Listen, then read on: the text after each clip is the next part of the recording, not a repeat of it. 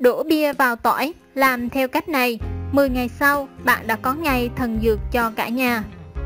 Trong những năm gần đây, tỏi đen được xem là siêu thực phẩm bởi công dụng có thể phòng ngừa và chữa được nhiều loại bệnh, đặc biệt là ung thư. Song giá thành của tỏi đen lại không hề rẻ chút nào. Dù vậy, bạn hoàn toàn có thể tự tay làm được tỏi đen tại nhà với phương pháp cực đơn giản, giúp bạn tiết kiệm chi phí mà vẫn tạo ra những mẻ tỏi đen an toàn, hiệu quả dưới đây. Tỏi thường đã rất tốt cho sức khỏe, nhưng tỏi đen còn tốt hơn nữa. Nhiều nghiên cứu đã chứng minh rằng hàm lượng hoạt chất chống oxy hóa của tỏi đen cao hơn rất nhiều so với tỏi tươi.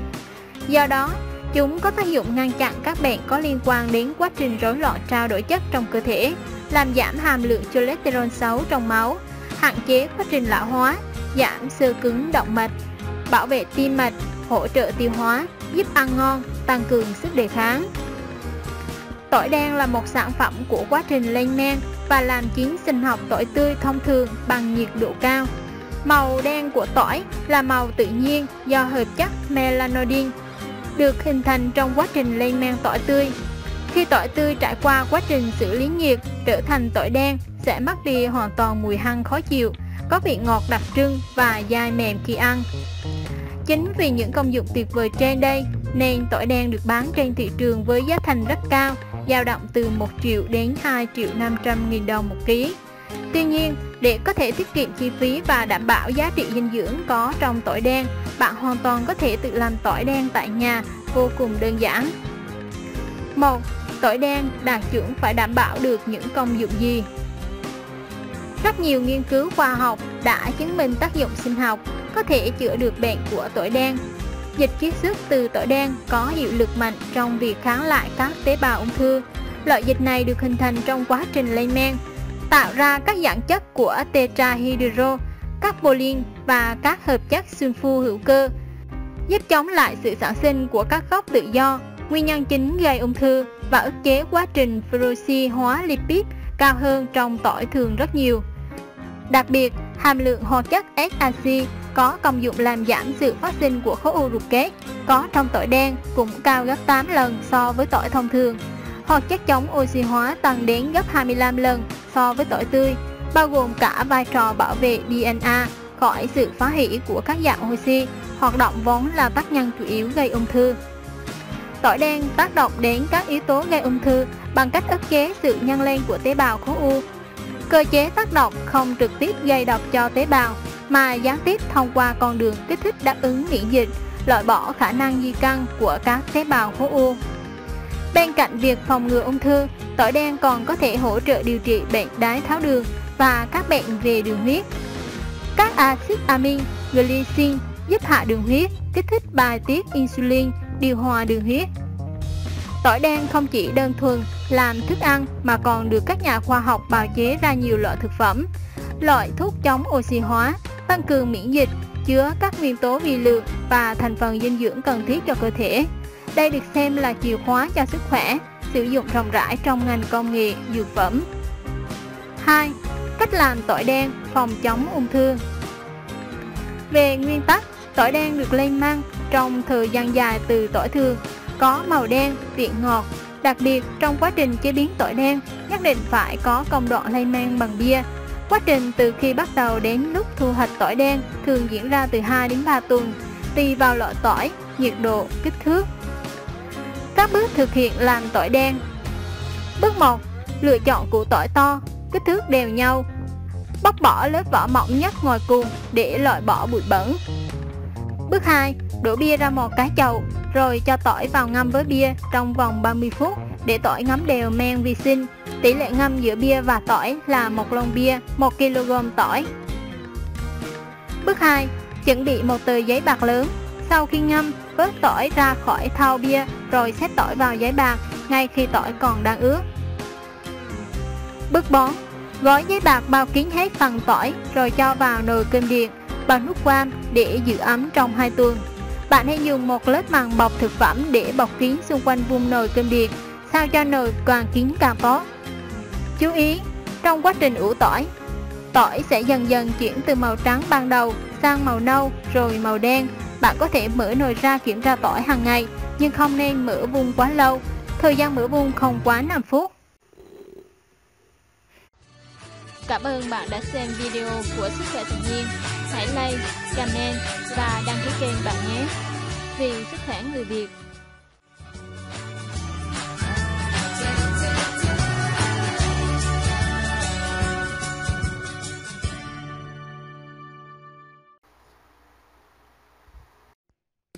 Đau nhức xương cốt 20 năm, đang chực chờ nằm liệt giường thì được cứu sống nhờ vài cái chân gà. Sau 3 ngày là hết hẳn tê buốt, đi lại pam pam. Nhắc đến bệnh đau nhức xương khớp, ai cũng nghĩ rằng đó là căn bệnh của người già. Thế nhưng sự thật là rất nhiều người khi còn trẻ đã phải thường xuyên chịu đựng những cơn đau đớn mà căn bệnh này gây ra. Em có quen một người bạn bị đau khớp chân từ lúc mới lên 10 tuổi. Cô ấy đã được đưa đến rất nhiều bệnh viện để chữa trị, rồi dùng hết thuốc Tây đến thuốc Nam, thuốc Bắc mà bệnh tình vẫn không hề thuyên giảm. Có lần em đến chơi, thấy bạn ấy lết từng bước chân đau đớn, trèo lên bậc cầu thang mà thương bạn ấy lắm. Nàng ý kể, cứ trở trời lạnh là hai chân tôi đau như kim chích, hai khớp gối sưng vù, đúng là đau thấu xương thấu tỉ. Ấy vậy mà hôm vừa rồi em nhận được cuộc điện thoại của bạn ấy mời đi đám cưới Em thoáng chút bất ngờ, nhưng cũng rất mừng cho nàng ý.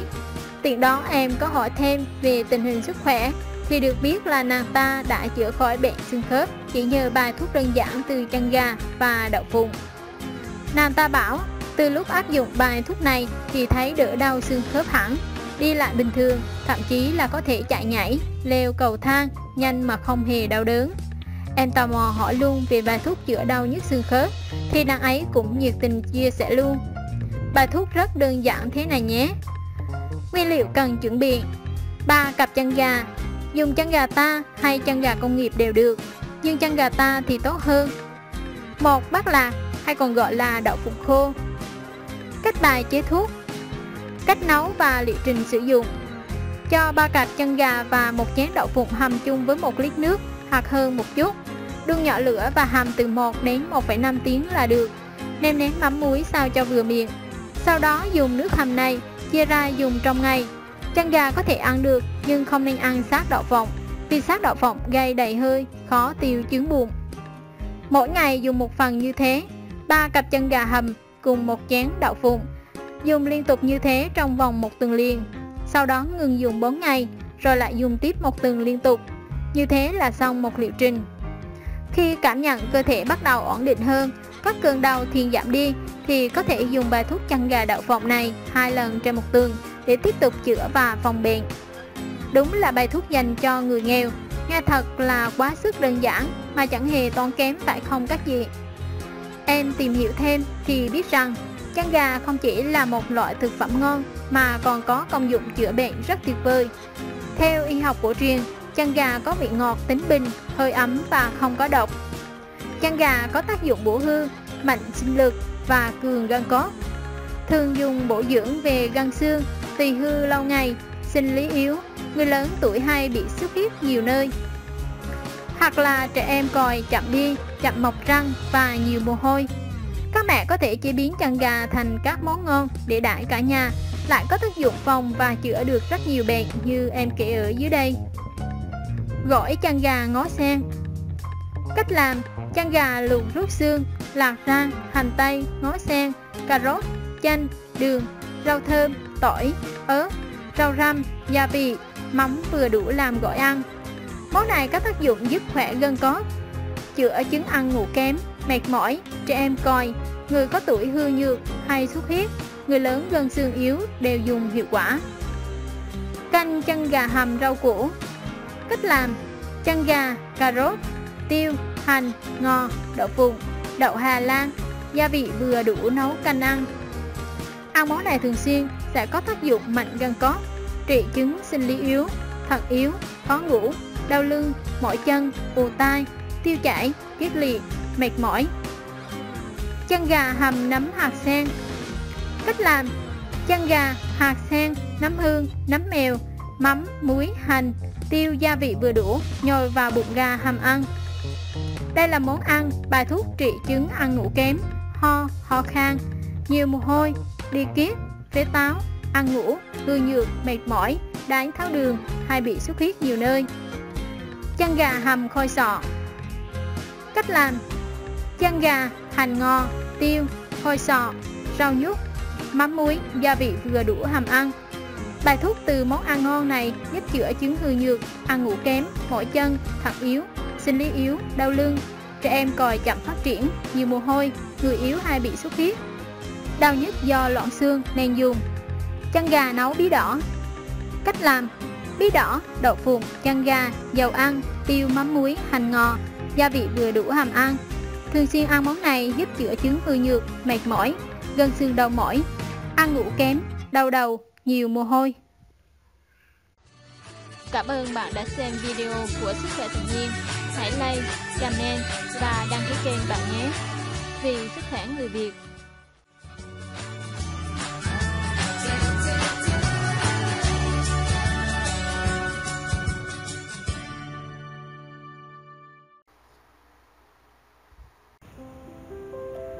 Tám thực phẩm cực độc khiến thai nhi bị dị tật, cầm điếc bẩm sinh, bầu liệu mà tránh cho xa, kẻo tự mình làm hại đến con.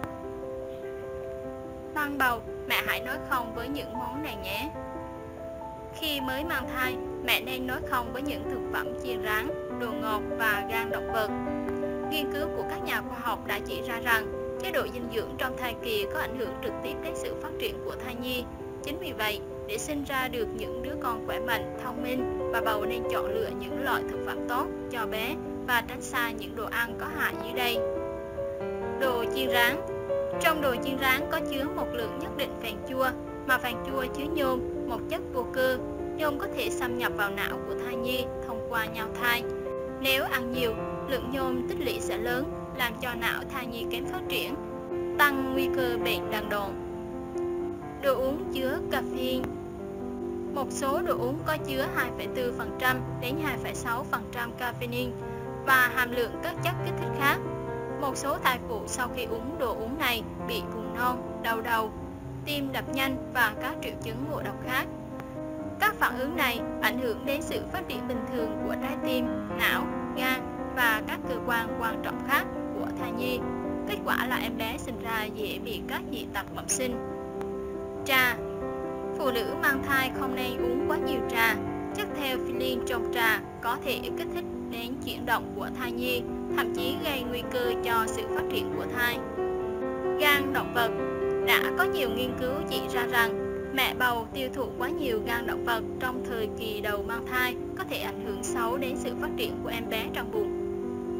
Nếu phụ nữ mang thai ăn quá nhiều gan động vật, đặc biệt là khi dùng các viên thuốc bổ sung sinh tố khác, lượng vitamin A được đưa vào cơ thể sẽ quá nhiều, ảnh hưởng xấu đến thai nhi, thậm chí gây quá thai. Ngoài ra, gan là bộ máy giải độc, là kho chứa chất độc lớn nhất trong cơ thể động vật. Một số chất độc đó khi ăn vào có thể ảnh hưởng xấu đến mẹ bầu và em bé. Thực phẩm dễ dị ứng Khi mang thai, mẹ bầu cần đặc biệt chú ý đến việc ăn uống nhất là khi ăn những thực phẩm lạ mà cơ thể dễ bị dị ứng. Với bất cứ món ăn nào lạ, mẹ chỉ nên ăn một chút để thử phản ứng của cơ thể trước. Với những thực phẩm mà mẹ đã bị dị ứng trước đó, tuyệt đối không nên cố gắng ăn bởi khi cơ thể bị dị ứng sẽ sản sinh ra một loạt các chất có hại cho bào thai. Khi cơ thể bị ngứa, phát ban, đau bụng, tiêu chảy, mẹ cần dừng sử dụng thực phẩm ngay và tham khảo ý kiến bác sĩ chuyên khoa. Với bất cứ thực phẩm nào đã từng khiến mẹ bị dị ứng đều không nên ăn khi mang thai. Giấm và thực phẩm có tính axit Quá nhiều giấm và thức ăn có tính axit là một trong những thủ phạm gây ra dị tật Đặc biệt là hai tuần đầu của thai kỳ, rất nhiều loại thực phẩm có tính axit có thể gây mệt mỏi, yếu kém. Sử dụng thực phẩm có tính axit trong thời gian dài không chỉ khiến người mẹ bị mắc những căn bệnh nhất định, mà điều quan trọng hơn là sẽ ảnh hưởng đến sự tăng trưởng và phát triển bình thường của thai nhi, thậm chí có thể dẫn đến dị tật thai nhi. Thức ăn sông khói, nướng Các thực phẩm loại này phải dùng gỗ, than làm chất đốt để chế biến nhiên liệu đốt lên sẽ tán phát ra một loại chất độc làm ô nhiễm các thức ăn được sông nướng. Chất độc này có thể gây ra ung thư. Cứ mỗi ký cá sông và thịt nướng có tới mấy chục mg chất độc này. Cứ mỗi kg bánh thịt nướng có 79 mg chất độc. Đồ ngọt, đường, kẹo, Mặc dù đồ ngọt rất hấp dẫn với mẹ bầu, nhưng trong 3 tháng đầu và cả thai kỳ, chị em nên nhịn ăn để có sức khỏe tốt nhất. Mẹ bầu ăn quá nhiều đồ ngọt sẽ khiến tăng cân nhiều, dễ gây tiểu đường thai kỳ và thậm chí lượng đường dư thừa sẽ tiêu thụ canxi, khiến mẹ bị thiếu canxi, ảnh hưởng đến sự phát triển xương và răng của trẻ. Cảm ơn bạn đã xem video của Sức khỏe tự nhiên. Hãy like, comment và đăng ký kênh bạn nhé. Vì sức khỏe người Việt.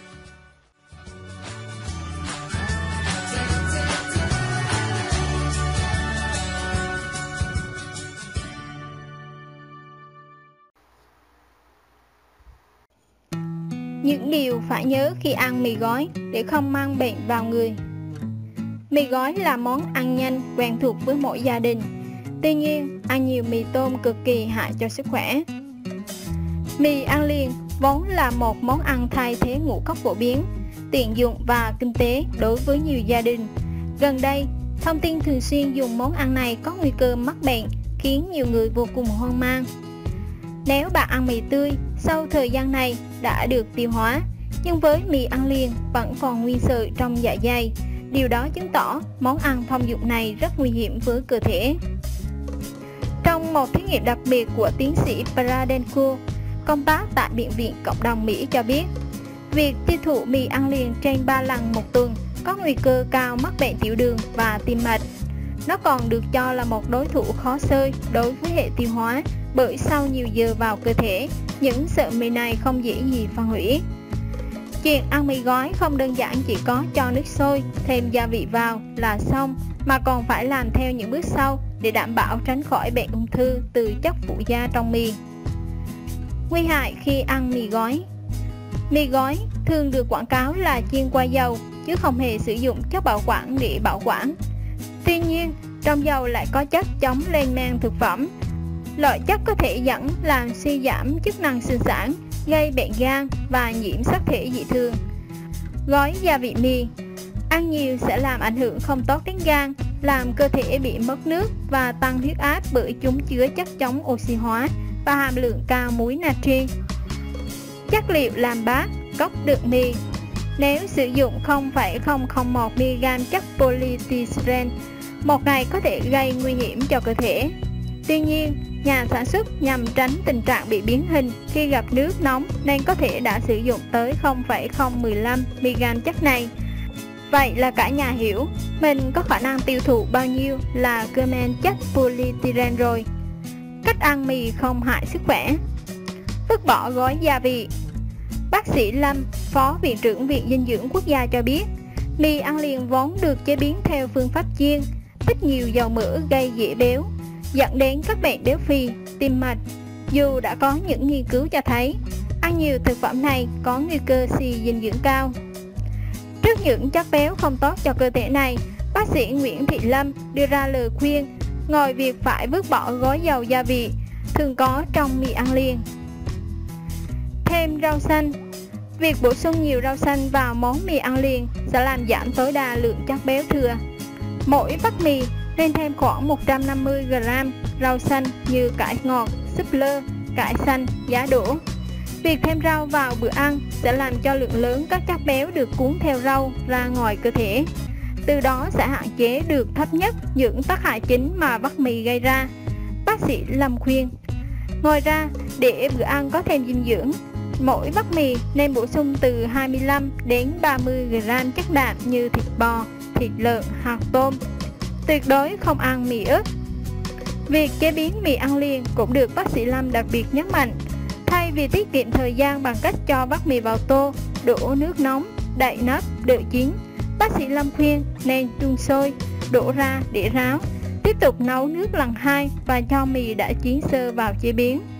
Bằng cách này, lượng chất béo và một số chất dinh dưỡng không tốt đã bị biến đổi trong bát mì sẽ giảm được phần nào.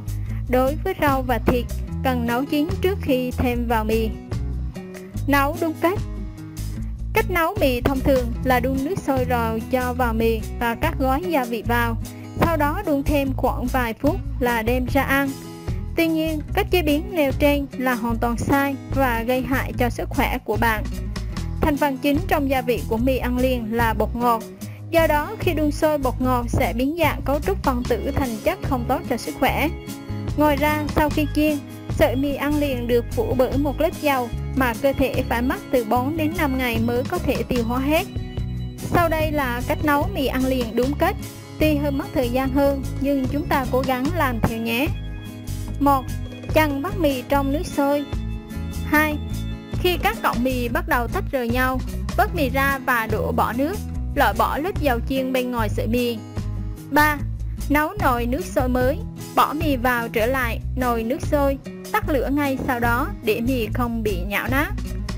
Bón, Sau khi tắt lửa, nước còn đang nóng, bỏ bột nêm vào trộn đều hoặc lấy mì ra và trộn với gói gia vị nếu là loại mì ăn khô. Lưu ý, gói bột nêm trong mì thường hơi nhiều để tạo cảm giác đậm đà ngon miệng. Chúng ta nên chỉ dùng một nửa hoặc 2 phần 3, không nên ăn quá mặn. 5. Để đảm bảo dinh dưỡng, nên chế biến riêng trứng, thịt, cá, tôm, rau xanh rồi thêm vào mì.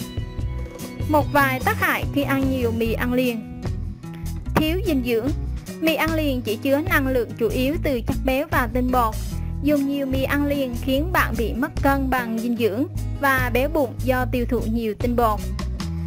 Bệnh tim mạch Bạn có nguy cơ mắc các bệnh về tim mạch như cao huyết áp, xơ vữa động mạch, đột quỵ cao hơn bình thường. Nguyên nhân là do chất béo trên phết có hại cho sức khỏe, đặc biệt đối với những người cao tuổi hay người có tiền sử bệnh tim mạch. Hại thận Mì ăn liền thường được ướp rất nhiều muối. Với lượng muối cao như vậy, khi ăn đương nhiên làm hại thận. Loãng xương Trong mì ăn liền có chứa nhiều phosphat giúp cải thiện mùi vị, tuy làm ngon miệng nhưng lại khiến chúng ta bị loãng xương, mất xương, răng cũng yếu dần đi. Ung thư Mì ăn liền với các thành phần phụ gia, màu thực phẩm, chất béo bão hòa, quá nhiều muối. Các nghiên cứu kết luận rằng mì ăn liền có khả năng gây ung thư nếu ăn nhiều trong thời gian dài. Không thể phủ nhận vai trò của mì ăn liền trong cuộc sống nhiều bận rộn như ngày nay. Tuy nhiên không thể xem đây là một món ăn hoàn hảo, có thể dùng mọi lúc mọi nơi. Vì nếu dùng thường xuyên sẽ không tốt cho sức khỏe. Khi ăn mì, bạn hãy chịu khó dành thêm vài phút để nấu mì theo cách nêu trên nhé.